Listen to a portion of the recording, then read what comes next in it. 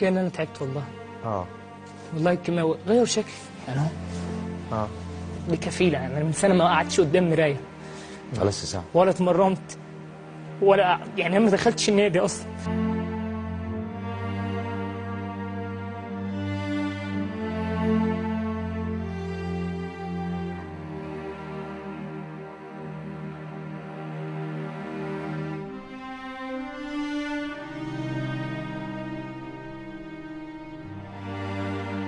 حكاية مؤثرة بطلها هو اللاعب سعد محمد ناشئ نادي الزمالك المصاب بالسرطان اللي بدأ مشوار المرض الخبيث لما حس بأنه مش قادر يواظب على التمرين بشكل طبيعي واعتقد في البداية أنه مجرد شوية إجهاد بسبب الماتشات والتدريبات اليومية. سعد كان بيستعد يطلع عمرة وعمل كشف دم قبل السفر لكن الصدمة لما اكتشف إصابته بلوكيميا في الدم وراح لأكتر من دكتور عشان يتأكد وكانت الحقيقة أنه مصاب بالمرض الخبيث.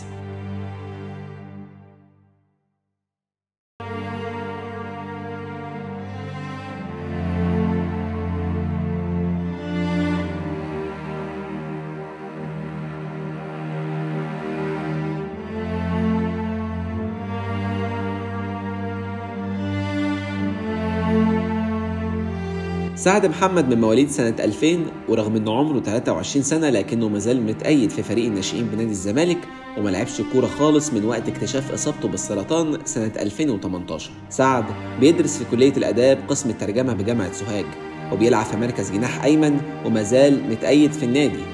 اتصاب بالسرطان سنة 2018 وقدر يتعافى منه في أغسطس 2022 لكن بعد كده وتحديدا في يوليو اللي فات اتشخصت إصابته بسرطان النخاع مرة تانية.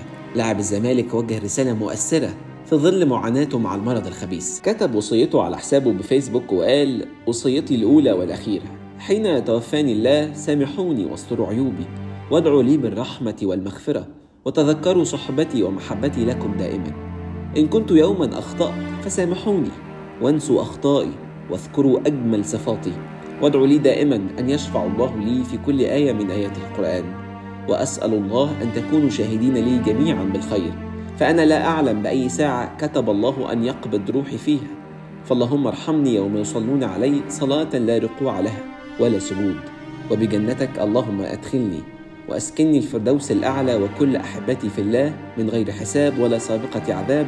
برحمتك يا أرحم الراحمين. أنا تعبان أصلا وبكابر قدام الناس إن أنا كويس. بس والله العظيم تعبان. ادعوا لي